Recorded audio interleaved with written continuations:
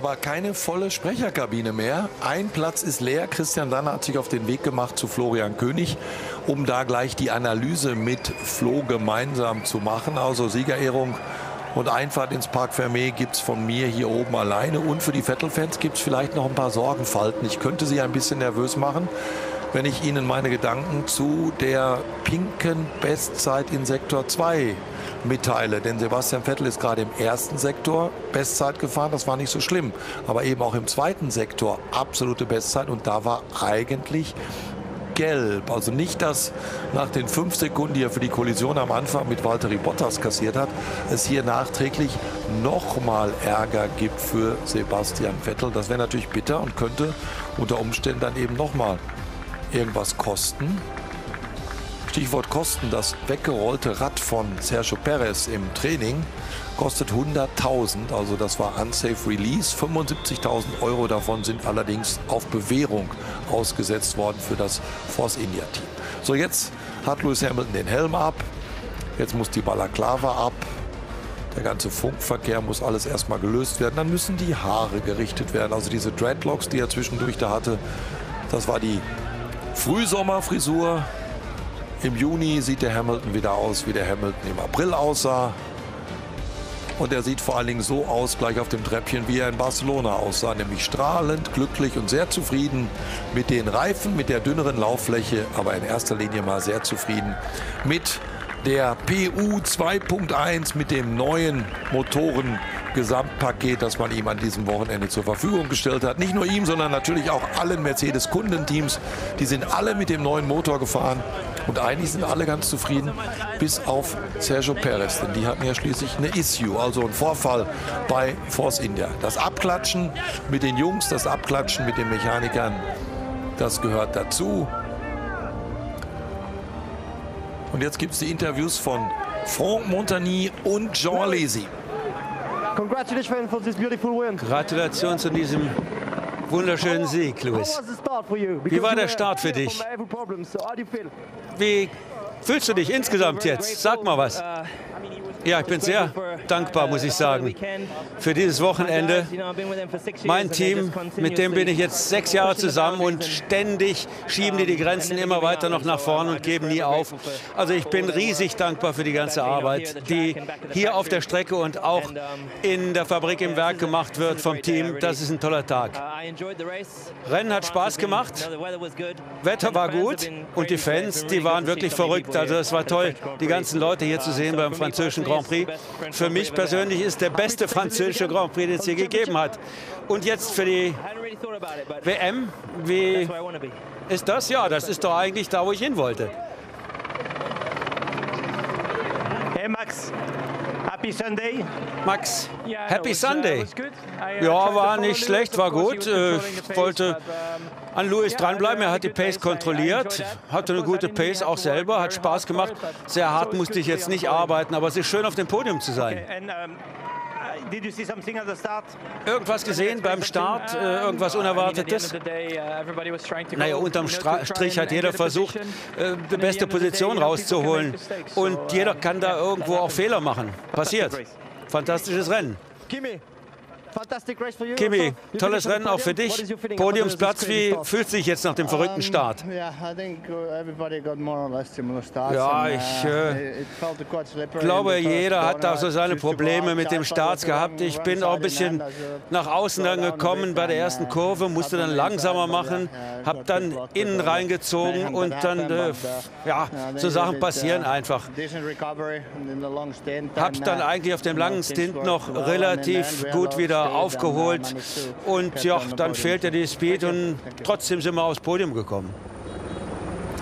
Soweit die Interviews. Franck Montagny, sieben Formel 1 Rennen hat er gefahren. Ansonsten war er erfolgreicher bei den äh, Series Renault 3.5. Jean Alesi deutlich erfolgreicher in der Formel 1 mit immerhin einem Sieg, aber nicht vielleicht der allerbeste Interviewer. Da ist der Franck Montagny deutlich besser im Thema, denn das ist ein Kollege, der fürs französische Fernsehen arbeitet. Stichwort Fernsehen. Beim RTL würde jetzt normalerweise exklusiv Weekend laufen. Wir müssen Sie ein bisschen vertrösten. Die Formel 1 hat ein bisschen länger gedauert mit dem Unfall und dem Safety Car. Formel exklusiv, beziehungsweise exklusiv Weekend, pardon, Formel exklusiv gab es ja auch mal mit K-Ebel. Also exklusiv Weekend kommt ein bisschen später, während wir noch mal ein krummes linkes Hinterrad von Fernando Alonso sehen. Also es ging wirklich alles daneben, was daneben gehen konnte für den Mann von McLaren. Es sind ja fast noch ein paar Mechaniker über die Schippe genommen.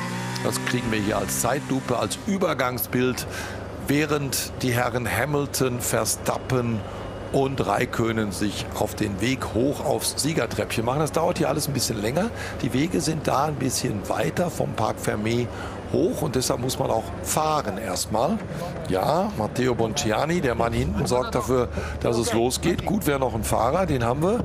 Und gut wäre eine geschlossene Beifahrertür. Dann hätten wir auch eine Chance, dass die beiden oder die drei dann bald mal beim Siegerehrungstreppchen ankommen. Florian König und Christian Danner sehe ich schon unterhalb des Siegerehrungstreppchens hier auf meinem kleinen Vorschau-Monitor. Christian hat es also geschafft und jetzt sehen Sie die Totale. Und jetzt kommen wir auch endlich dazu, diese Kunstwerke mal ein bisschen zu erklären. Das sind ja wunderschöne Teilchen, die da in der Box stehen von einem speziellen Künstler. Richard Orlinski und die Plastik, die direkt neben dem Siegertreppchen steht, heißt Wildcom.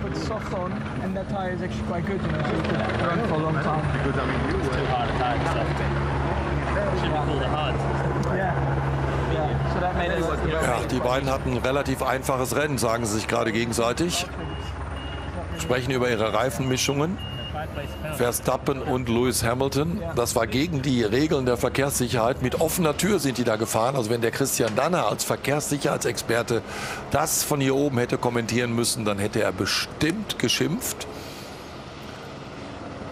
Hamilton auf 1, Verstappen auf 2 und Raikkonen auf 3. Das gab es schon mal. Österreich 2016. Da hatten wir exakt diese Podiumskonstellation. Ist doch ein schöner Hinweis, um noch mal ein bisschen die Werbetrommel zu rühren für das Rennen auf dem Red Bull Ring nächste Woche. Da sind wir in der Steiermark. Noch ist nicht ausverkauft, auch wenn wahrscheinlich wieder 15.000 bis 20.000 Verstappen-Fans da sein werden. Letztes Jahr waren es 17.000. Da war der halbe Ring in Orange. Mal gucken, wie es nächste Woche wird. Ich freue mich drauf. Und Sie sind hoffentlich dann entweder live dabei, Karten gibt es noch, oder beim Fernsehen. Und Dr. Zetsche, der hat eigentlich ein ganz gutes Näschen. Also den habe ich ganz selten mal live bei einem Rennen erlebt, wo sein Auto dann nicht gewonnen hätte. Also der sucht sich immer genau die richtigen Rennen aus, um dann eben auch den Stern wirklich strahlen zu sehen und einen Mercedes-Fahrer auf dem Treppchen ganz oben zu erleben. Das dauert jetzt wirklich sehr, sehr lange mit der Siegerehrung. Ähnlich lange hat eigentlich nur die Anfahrt am ersten Tag gedauert, als hier absolutes Verkehrschaos herrschte rund um die Strecke. Viele, viele Fans waren stocksauer, weil sie stundenlang im Stau gestanden haben. It does actually. Yeah. it's not me. We've got rabbit droppings. Ich lasse Sie ein bisschen lauschen.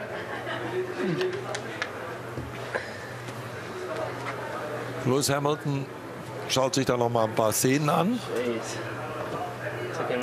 Das ist jetzt der Startunfall. Bottas Vettel. Oh man, that's ja. crazy. Ja, das, das, das haben wir ja vorhin schon kommentiert, dass Max Verstappen ganz außenrum gefahren ist.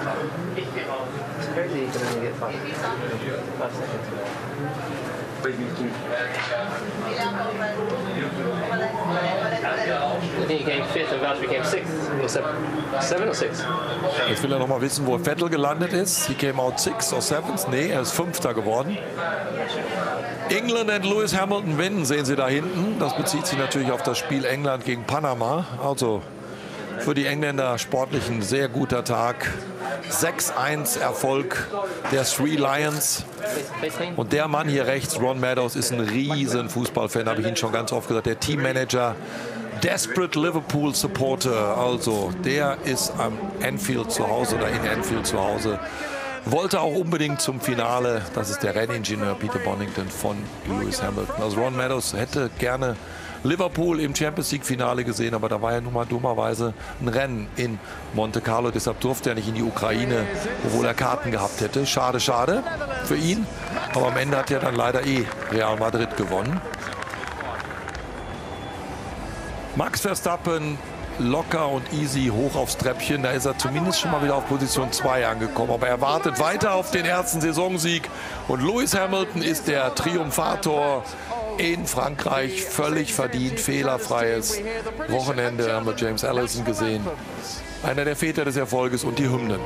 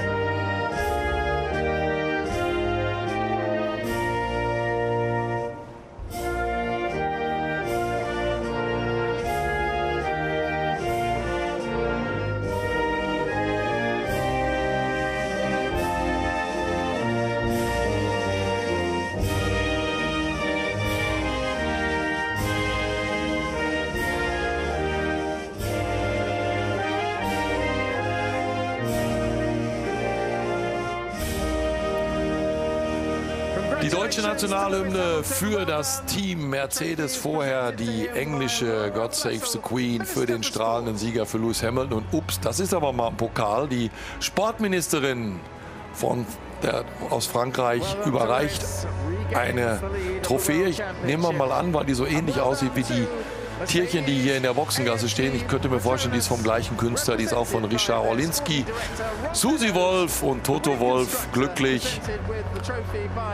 Und der Vertreter des Hauptsponsors Pirelli jetzt mit der Trophäe für Ron Meadows, für den Teammanager.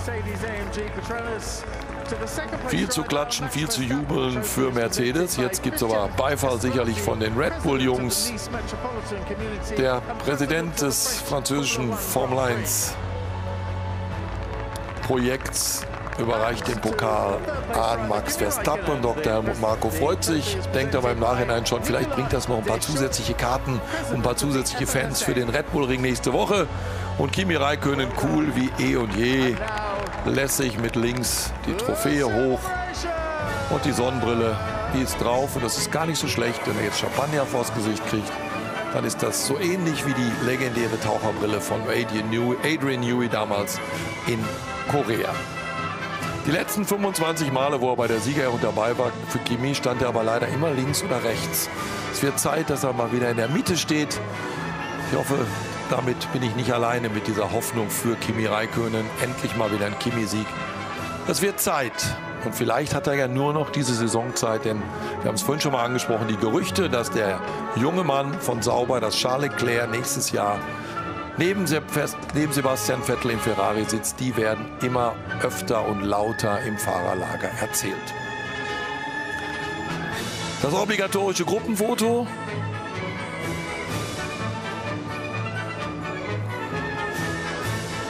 Da haben wir die ersten drei und den strahlenden Teammanager von Mercedes. Die anderen Positionen, die ersten zehn, kriegen Sie jetzt nochmal im Überblick. Und dann geht es weiter bei Christian Danner, den ich heute ausgeliehen habe an Florian König und eben bei Florian König.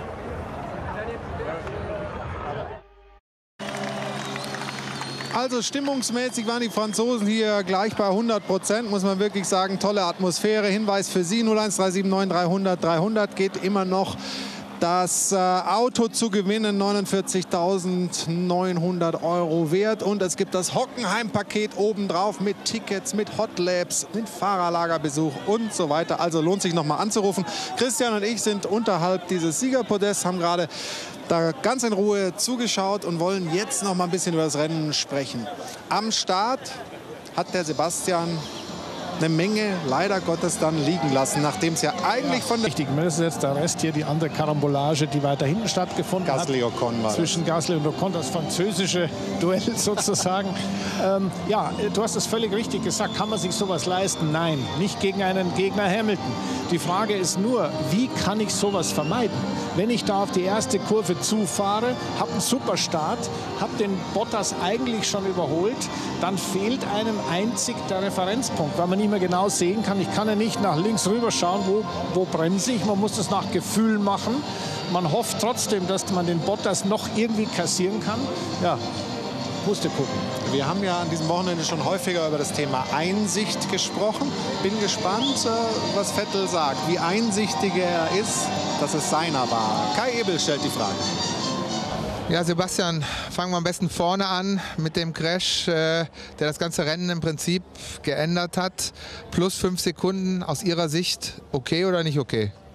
Ja, ich meine, ich war ja letzten Endes der, der daran schuld war. Ich hatte natürlich dann keinen. Ja, ich denke, mein Start war zu gut. das hat man auch selten, aber ich hatte, nicht, hatte keine Möglichkeit, irgendwo hinzugehen. Ähm, eine Möglichkeit, dann irgendwie äh, das Auto auf, im Auto aufzumachen, Weg zu machen. Weil rechts war dann der Valtteri, der natürlich dann vor mir bleiben wollte, weil er gesehen hat, dass ich attackiere. Und daneben dann nochmal der Max, der natürlich bis zum Ende der Geraden, denke mal, den Windschatten genutzt hat, um dann auch rauszukommen. Und somit hatte ich dann ja, keinen kein Platz mehr und mir blieb dann äh, ja, leider nichts anderes übrig. Kam der Stopp, dann ging es auf die äh, Softmischung. Gab es da zu dem Moment äh, Gedanken, das Rennen mit denen sofort zu Ende zu fahren? Oh, vielleicht nicht sofort, aber äh, klar, wenn man hinten ist, ist das natürlich äh, eine Möglichkeit. Die andere wäre gewesen, ich habe mal gesehen, dass es äh, unten äh, ja, am östlichen Ende oder ja, östlichen Ende der Strecke äh, geblitzt hat. Dann dachte ich, dass vielleicht ein bisschen Regen kommt und wir länger draußen bleiben können. Auf Waren doch nur die Fotografen, oder? Nein, es war ein Blitz. Ähm, aber uns hat es nicht getroffen, also dass man dann länger draußen bleibt, bis es regnet. Das kam leider nicht. Ähm, ja, es war halt ein bisschen seit am Anfang an dann der Wurm drin, aber Dafür glaube ich ist der fünfte Platz okay. Äh, zum Schluss äh, haben wir dann nur reagiert, was der Valtteri macht, weil sonst wären wir äh, hinter ihm gefallen und das hatten wir nicht vor. Ricardo war nicht zu halten? Nein, ich war überrascht. Ja, nicht mehr die frischsten und somit konnte er dann, war überrascht, aber er hatte einfach so viel mehr Grip, dass er dann locker daneben fahren konnte. Dann Ihr Hobby war auch wieder dabei, schnellste Rennrunde fahren. Am Ende hat es wohl geklappt, aber ich denke, da war noch eine gelbe Flagge, oder? Ich musste zum Schluss äh, den Speed rausnehmen, aber ist nicht so wichtig. Danke. Soweit also Sebastian Vettel und das ist hier nochmal der Nachweis, dass die Atmosphäre in Frankreich echt riesig ist. Toto Wolf ist bei uns. Wie glücklich sind Sie mit dem Rennen? Weil einer ist ja problemlos durchgekommen, der andere hatte schwere Schwierigkeiten nach dem äh, Crash mit Sebastian. Ja, äh, für den, äh, für den Louis ein äh, fehlerfreies Rennen. Das Auto hat funktioniert, Motor hat funktioniert, Fahrrad funktioniert und das haben wir in der Kombination schon lange nicht gehabt. Dann geht selten was schief, wenn dann das geht, alles funktioniert. Genau, dann geht selten was schief und für den Walteri natürlich todunglücklich. Der, unglücklich, der Sebastian hat sich da verschätzt in, ähm, in Turn 1, hat der Walter das Rennen ruiniert und natürlich auch sein eigenes. Was war denn genau kaputt bei Valtteri? Man hat gehört, Unterboden beschädigt. Wie viel Abtrieb ist verloren gegangen? Balance verschoben. Was, was hatte der für Probleme während des Rennens? Wer hätte auch noch weiter vorkommen Wir haben es äh, visuell gesehen, da war der ganze Unterboden rund um das äh, Rear Tire Seal, also um den Hinterreifen, komplett zerschossen. Und der Walter hat gesagt, das Auto fühlt sich schockierend an. Ist Mercedes okay. wieder da, wo sie hinwollen? Ganz vorne? Oder kann das, kommt das Wochenende in Ihrer Heimat, in Österreich, schon wieder anders aussehen? Nein, ich hoffe, dass wir wieder einen Schritt gemacht haben und uns konstant weiterentwickeln. Ähm, das zweite Auto noch vorne mit dabei zu haben, wäre natürlich super, aber man muss auch demütig bleiben. Das ist ein Dreikampf zwischen Red Bull, Ferrari und uns und gut für das Spektakel, denke ich. Wie hart ist es für das Team, jetzt diese drei Rennwochenende in Folge abzuspulen? Brutal hart. Also wir sehen alle unsere Familien jetzt äh, fast dreieinhalb Wochen nicht. Und das ist nicht ganz einfach. Die Kinder sind in den Sommerferien, sehen aber von ihren Eltern nichts. Und, ähm, Vielleicht sind die froh. Das kann sein, meine sind wahrscheinlich froh. Ja. Ähm, aber es ist nicht einfach für die Mannschaft. Man unterschätzt das oft. Aber ja, klar. Also, wir äh, konstatieren, erster Abschnitt gut geglückt. Äh, geglückt äh, Auto funktioniert. Mal schauen, wie es am kommenden Wochenende wird. Dankeschön, Danke. Toto Wolf. Und äh, Sie, liebe Zuschauer, haben die Gelegenheit, nochmal bei unserem Gewinnspiel anzurufen. 01379 300 300. Die Franzosen, die geben hier alles. Toto wird gefeiert. Und äh, Sie können vielleicht gleich feiern über ein neues Auto und das Hockenheim-Paket. Viel Erfolg dabei und wir sind gleich wieder zurück. Sie können also herzlichen Glückwunsch, aber schon kommenden, kommendes Wochenende gibt es wieder eine Chance, so ein tolles Auto zu gewinnen. In Spielberg neues Glück, neues Spiel? Gibt es auf, auf alle Fälle etwas Neues oder Altes, nämlich wir sind wieder bei den Standardreifen. Das könnte heißen, wieder ein bisschen besser für Ferrari und wir sind bei 74 Prozent Vollgasanteil und das geht auch noch den Berg hinauf, also Motorleistung und Traktion, das Ando. Danke dir, Christian. Danke Ihnen. Wünsche noch einen schönen Tag. Jetzt kommt exklusiv nachher 18.45 die News. Das war die Formel 1 aus Frankreich. Bis nächstes Wochenende. Ciao.